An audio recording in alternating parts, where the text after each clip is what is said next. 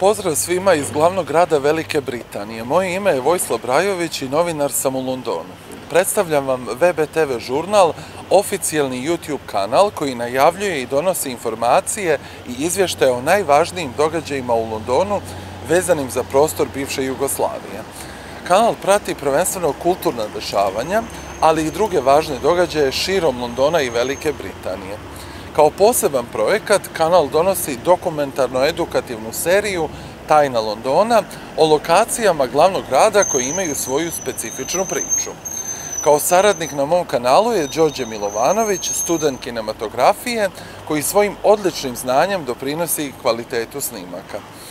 Zahvaljujem se na posjeti mom kanalu i molim vas da u komentarima ostavite vaše utiske i predloge i kliknete subscribe i tako postanete naš redovni pratilac i podijelite naš kanal sa vašim prijateljima.